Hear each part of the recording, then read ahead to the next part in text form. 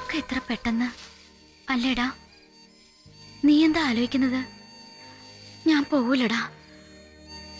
നിന്നെ വിട്ട് ഇവിടെ ഒക്കെ വിട്ട് പപ്പയും മമ്മിയും സണ്ണിച്ചാനിയും ബേബാന്റെയും ഒക്കെ വിട്ട് ഞാൻ എന്താ ഓർക്കാഞ്ഞത്?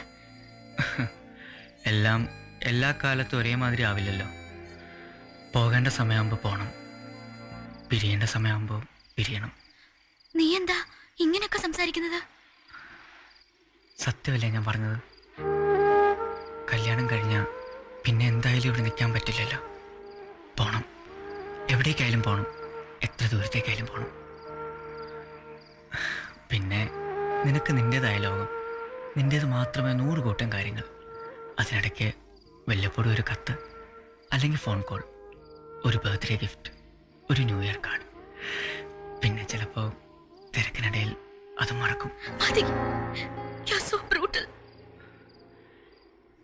എല്ലാ ഫ്രണ്ട്ഷിപ്പും ഒടുവിൽ അവിടെ ചെന്നാണ് എത്തുക. അത് നിന്റെ കുറ്റമല്ല ആരുടെയും കുറ്റമല്ല. ട്രൂത്ത് ദ റിയൽ ട്രൂത്ത് ഇല്ല. എനിക്കത് ഓർക്കാനേ പറ്റുന്നില്ല. പറ്റൂടാ എനിക്ക്. നിനക്ക് പറ്റുമോ അന്ന് യൂണിവേഴ്സിന് പോയപ്പോ ആ ഒരാഴ്ച എന്ത് വീർപ്പുമുട്ടലായിരുന്നു. ഇല്ലേ? ഇതിപ്പോ പോയ പിന്നെ എന്താണെന്ന് പോലും അറിയാതെ.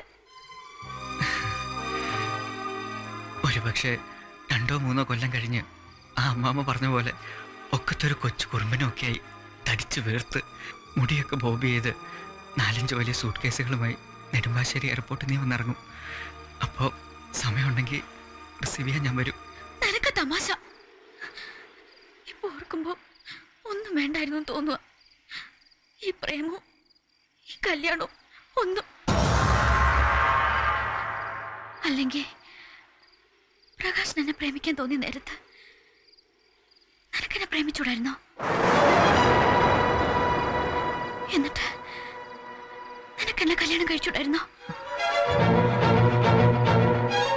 എങ്കിൽ പിന്നെ ഒരിക്കലും പിരിയേണ്ടി വരില്ലായിരുന്നല്ലോ നമുക്ക്. അതും തോന്നിയില്ല. ഈ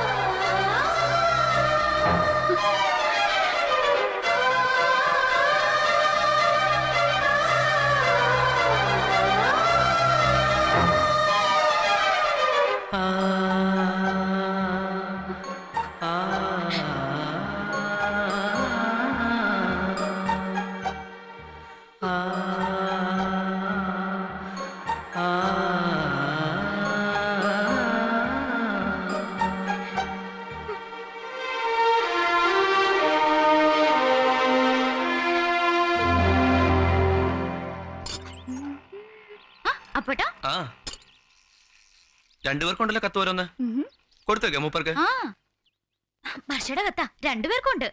ഡൽഹിന്നാവും. നിനക്ക് പിന്നെ പ്രേമലേഖനാണെന്ന് വിചാരിക്കാം. എനിക്കെന്താ അവൾ എഴുതാൻ? നോ എക്സ്ചേഞ്ച് എന്റെ കത്ത് നീ വായിക്കുന്നു നിന്റെ കത്ത് ഞാനും.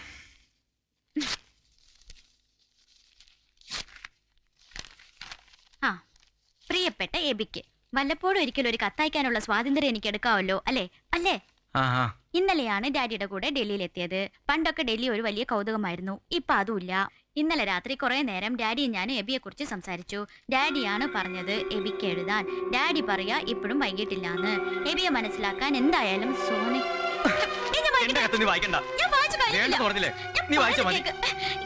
എന്റെ? കത്ത് നീ വായിക്കണ്ട.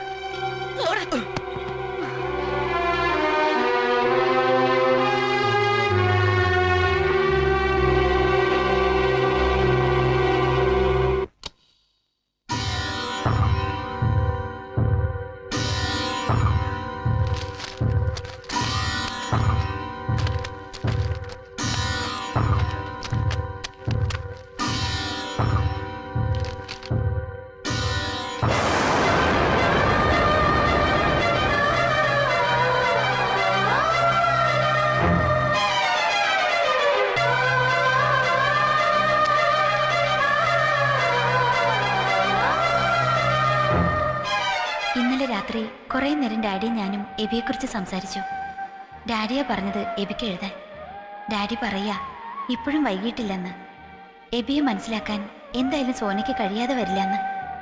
ഒരു പക്ഷേ എബിയുടെ മനസ്സിലുള്ളതുപോലെ സോനയുടെ മനസ്സിലും അതേ തോന്നലുണ്ടായിക്കൂടുന്നില്ലല്ലോ പ്രേമമെന്ന് പറയുന്നത് അങ്ങനെയാണ് ബി ഇത്ര അടുത്ത കൂട്ടുകാരിയായിട്ടും എബിയുടെ മനസ്സെന്തെന്നറിയാൻ സോനയ്ക്ക് കഴിഞ്ഞു? അതുപോലെ എബിക്കും കഴിയില്ല. അതുകൊണ്ട് ഒന്നുകൂടെ ഒന്ന് ആലോചിക്കേ. എല്ലാം തുറന്നു പറയൂ സോനയോട്.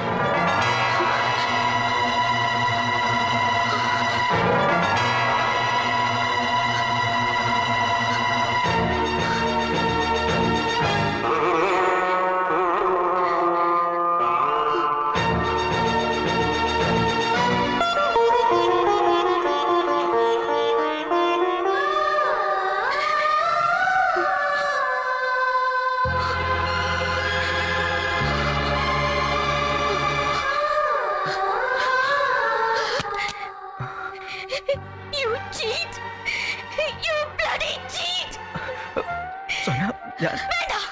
മിണ്ടരുത് നീ നീ എന്റെ ഫ്രണ്ട് ആണെന്ന് പറയാൻ പോലും ഐ ഫീൽ ashamed പരസ്പരം ഒന്നും മറച്ചു വെക്കാറില്ലെന്ന് നീ പഠിച്ചിട്ട്. ഇത്രയും വലിയൊരു ചതി. നിനക്ക് എങ്ങനെ അതിന് കഴിഞ്ഞു? എങ്ങനെ കഴിഞ്ഞുടാ? ഒരു സൂചന ഒരു സൂചന എപ്പോഴെങ്കിലും തന്നിരുന്നെങ്കിൽ ഞാനിങ്ങനെ വിട്ടുവേഷം കേട്ടുമായിരുന്നു.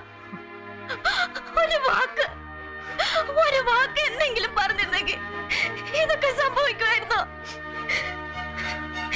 പ്രകാശിനോട് എന്താ മറുപടി പറയണ്ടെന്ന് ഒരു ആയിരം വട്ടം ചോദിച്ചില്ല ഞാൻ. അപ്പൊ പറഞ്ഞൂടായിരുന്നോ നിനക്ക്? പക്ഷെ ഡാഡിയെ കാണാൻ പോകാഞ്ഞതിന് അന്ന് എന്ത് മാത്രം ഞാൻ നിന്നെ ശകാരിച്ചു? അപ്പോഴെങ്കിലും പറഞ്ഞൂടായിരുന്നോ നിനക്ക്? എല്ലാം ഉള്ളിൽ